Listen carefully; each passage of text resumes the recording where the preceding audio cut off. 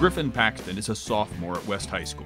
Here was his observation about the temporary campus classrooms the students will use until a new high school opens.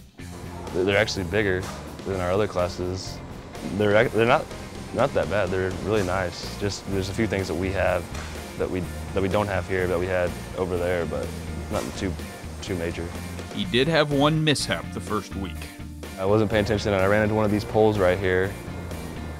And that's, that's my stories. Over the next two years, we'll keep following Griffin's story and those of his schoolmates as they await the opening of their new school.